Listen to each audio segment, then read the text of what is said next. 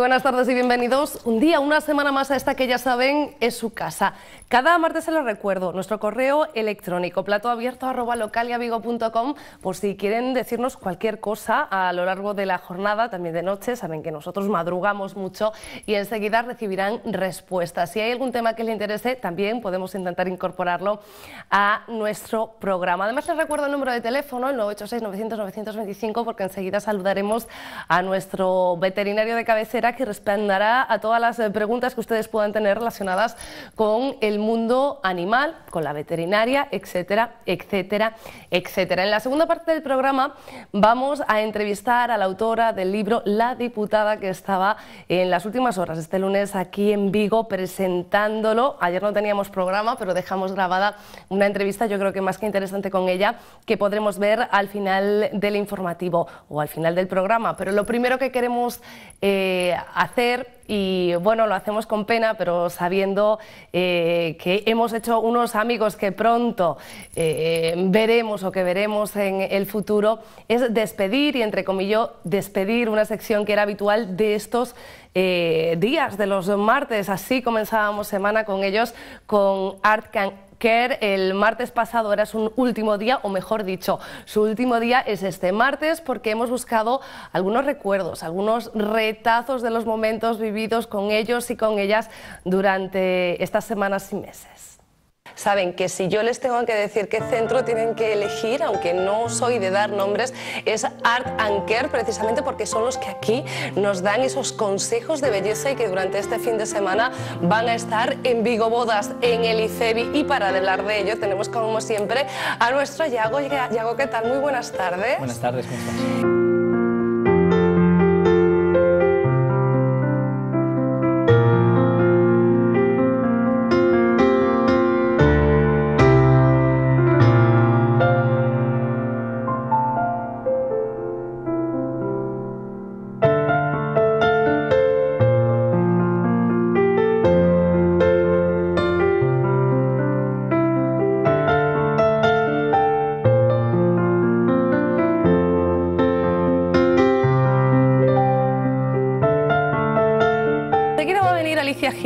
A darnos esos consejos y digo enseguida y las cosas que tiene el directo que acaba de aparecer ahora mismo por Arenal número 8 por Localia Vigo Televisión y la tengo ahí detrás de la cámara intentando bueno, con un técnico intentando colocarle el micrófono.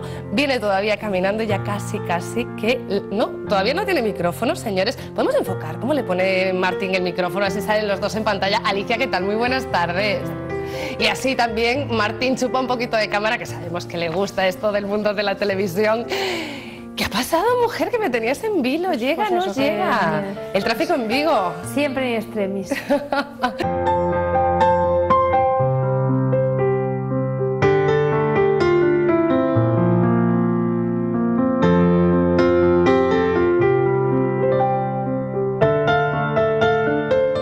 para todas nuestras novias, como hablamos, pero luego para nuestras niñas y no tan niñas tenemos unas pelucas muy divertidas para hacer, no solo en carnaval, sino cualquier día del año, un día divertido y diferente. Y, la maquillamos con purpurina, que sí. Y, y lo que más le gusta a Elena son las... Uñas.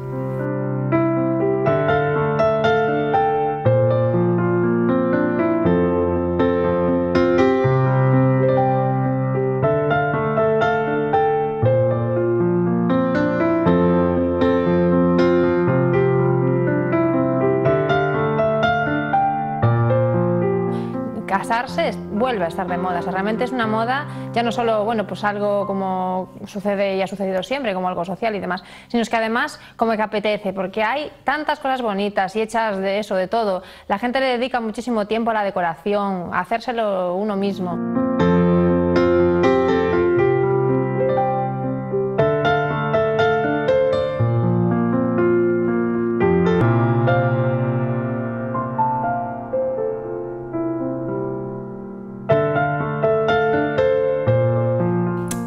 Por supuesto para la novia, para la madre, para las invitadas, pero también para nosotras y para el resto, las que no nos casamos y vivimos a diario. el martes y que por viene hacerlo fácil. Nos vemos, estés aquí o estés del otro lado, en la zona de público. Muy bien, gracias. Ustedes...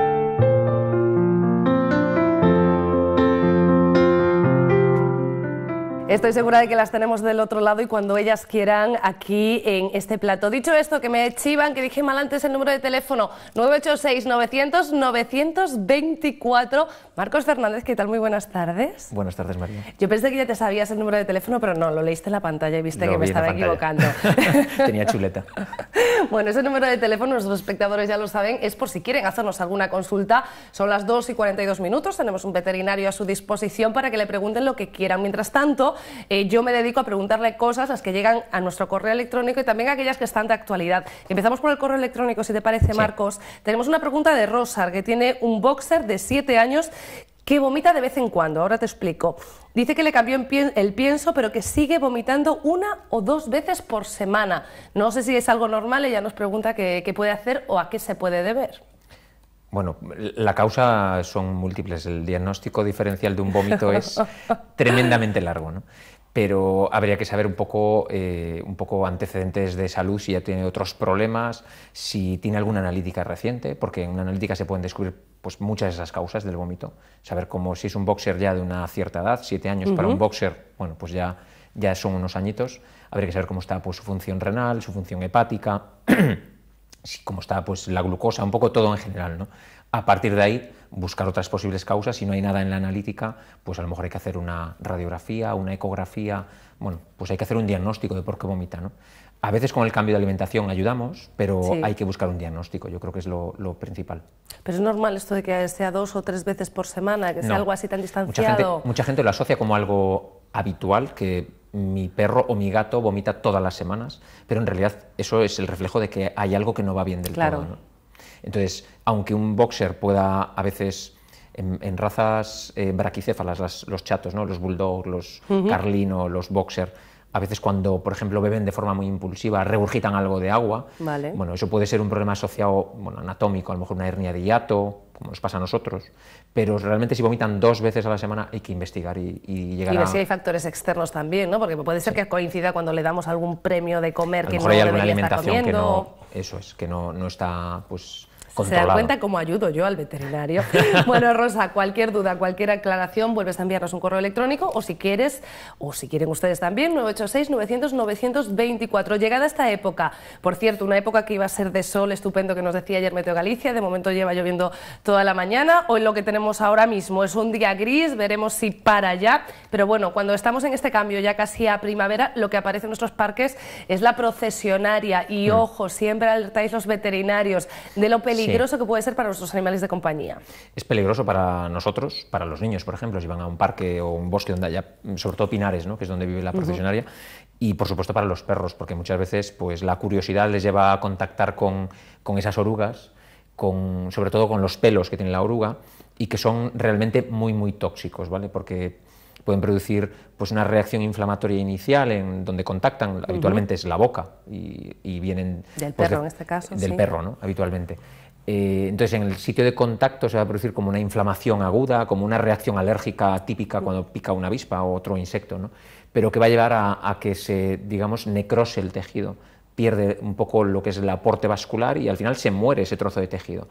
Esto pasa muchas veces en los perros en la lengua y cuando se recuperan de la- del, del contacto con la procesionaria llegan a perder trozos de la lengua.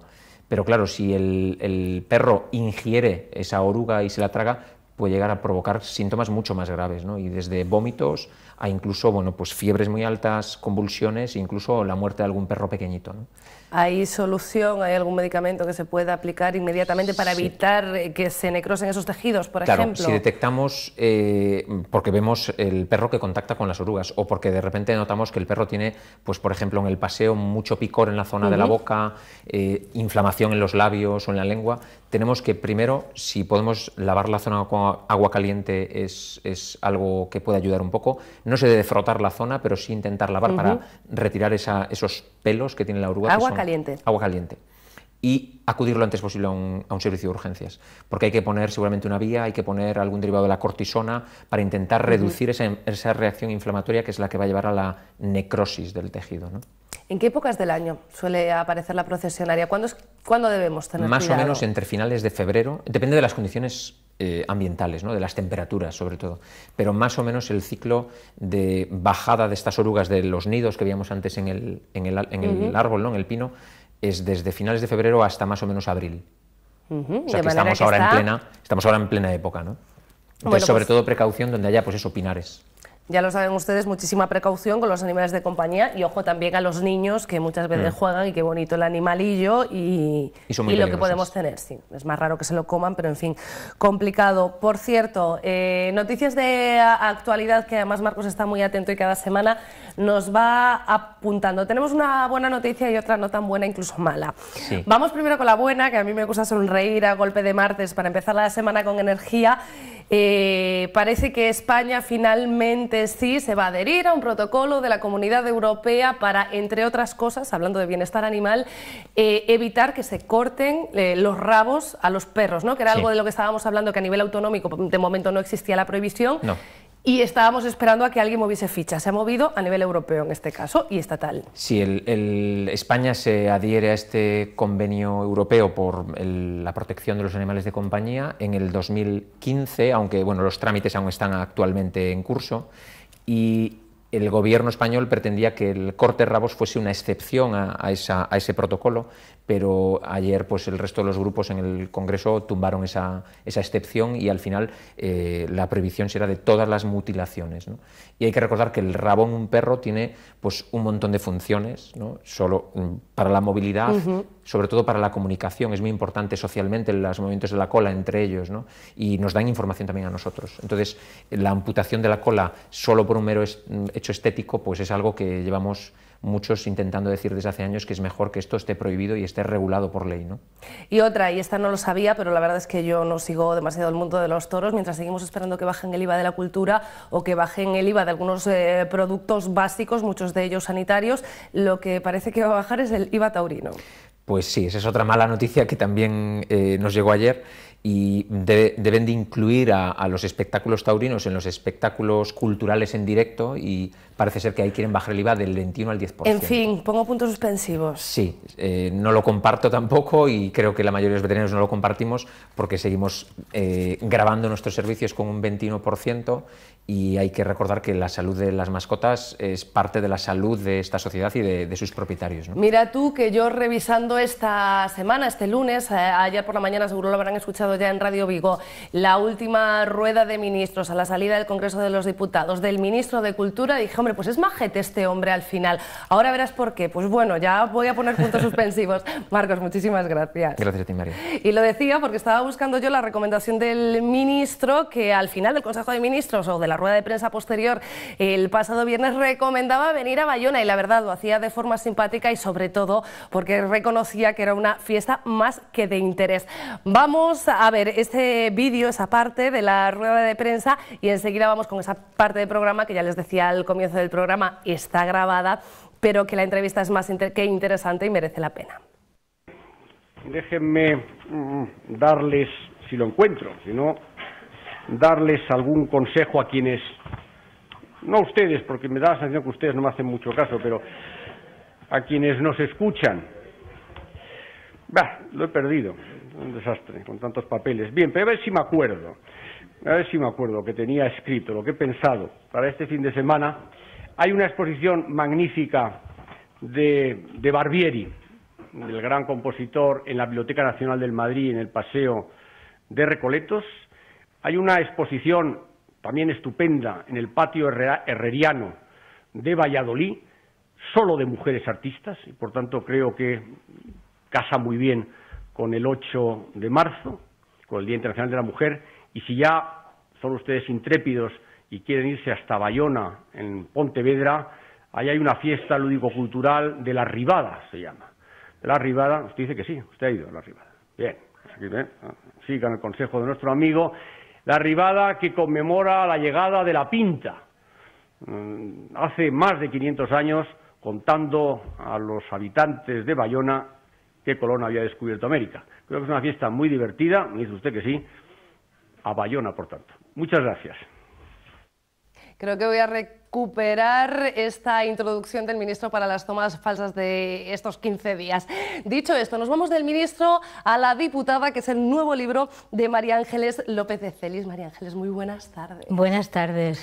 Yo estoy segura de que nuestros espectadores eh, te conocerán ya no por este último libro, sino sobre todo por el primero durante varias décadas, secretaria de hasta cinco presidentes de gobierno, de todos salvo del, del actual, de Mariano Rajoy.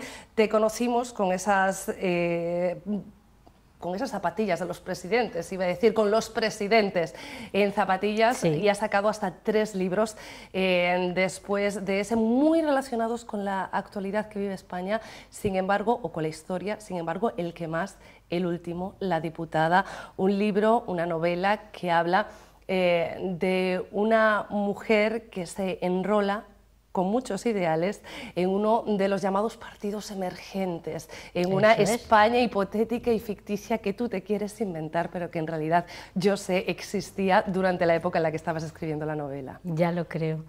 Eh, mi novela, cuando me preguntan, ¿pero qué clase novela es contemporánea? Digo, no puede ser más contemporánea. Esta novela, la trama, que efectivamente es ficción, pero es, eh, el escenario es tan real como el, el periodo de seis meses que va entre las elecciones del diciembre del 2015 y las de junio del 2016. Tanto era así que yo necesitaba resolver la novela y darle un final y no llegaba porque la situación en España se aclaraba y no sabíamos si teníamos que ir a terceras elecciones y yo ya me tuve que separar de la realidad para poder terminar la novela. Casi mejor, porque si no nos desvelas el final de esta... No, no os lo voy a desvelar, claro que no. De esta novela protagonizada por una mujer, en principio, una mujer trabajadora, una mujer que se convierte en política, una mujer que se integra en un partido emergente y una mujer que también tiene su espejo eh, en la realidad, una concejala de Madrid muy conocida, yo creo, eh, a nivel internacional, como es Begoña Villacís, eh, bueno, no tanto, seguro, como en la capital. Creo que ella te ha servido de modelo y creo que ella ha podido leer la diputada. Sí, claro que sí. Es una cosa curiosa porque igual que el lector cuando lee una novela se imagina cómo son físicamente esos personajes, pues los, eh, los escritores nos pasa igual. Entonces, aunque sean unos personajes que no existen, pero necesitamos una referencia, ¿no? Y Begoña es esa mujer eh, cuyo currículum se ajusta perfectamente a mi personaje y además eh, esa imagen tan fresca, esa sonrisa que tiene ella, es una mujer muy alegre y muy positiva. Y entonces, bueno, pues me gustó mucho y entonces, bueno, pues la adopté y durante ocho meses ha vivido en mi cabeza. Una vez en la calle, eh, rápidamente me puse en contacto con ella para contarle, quedó muy sorprendida de ser un poco la inspiración de todo esto y le ha encantado la novela, de hecho estuvo conmigo el día de la presentación oficial en Madrid. En, alguna, en uno de tus libros ya hablaste de la corrupción, de los trapos sucios, del lado menos amable de la política. Yo no sé si fue por hacer contrapeso, por esto del karma, que en esta novela lo que quieres eh, es darnos un halo de esperanza en los políticos. Vamos a ver, en estos momentos en los que efectivamente mmm, los ciudadanos eh, sentimos esta desafección hacia nuestros representantes, es más incluso un rechazo, hay gente que es un rechazo visceral.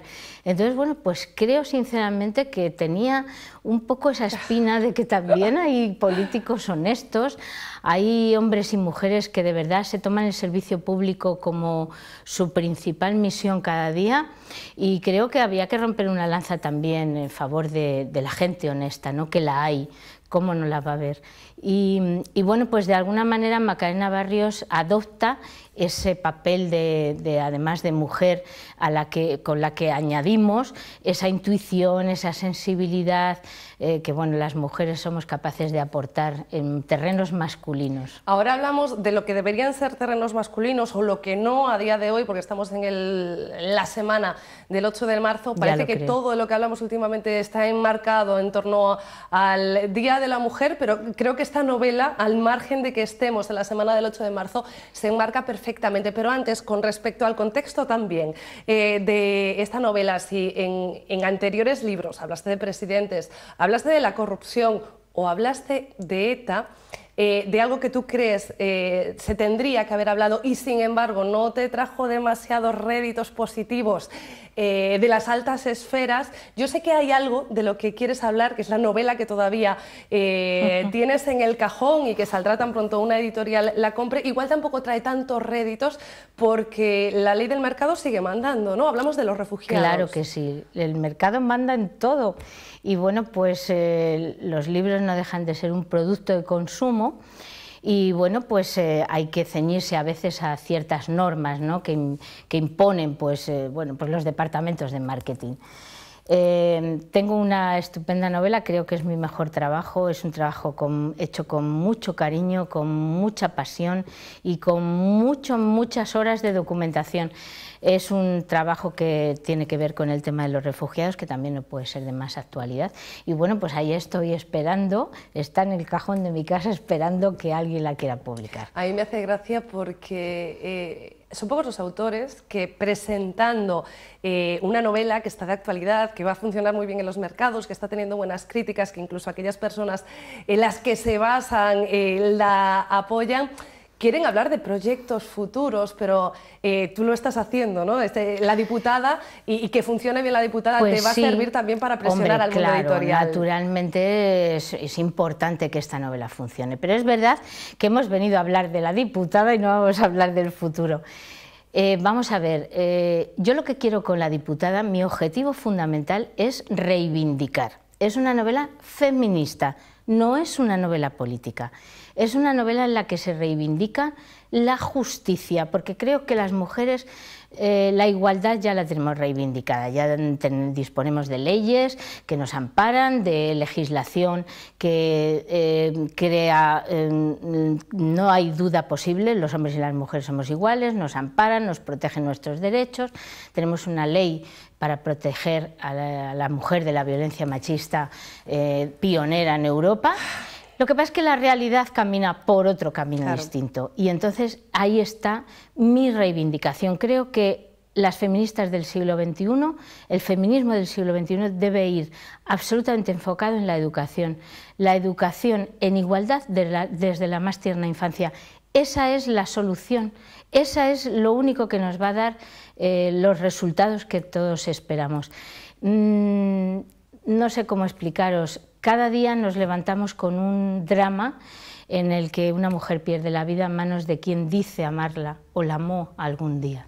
Eso es absolutamente, eh, mm, para una sociedad es una lacra tan terrible y bueno, pues lejos de aflojar la presión en este sentido, parece que las cosas no están funcionando bien, algo no estamos haciendo bien.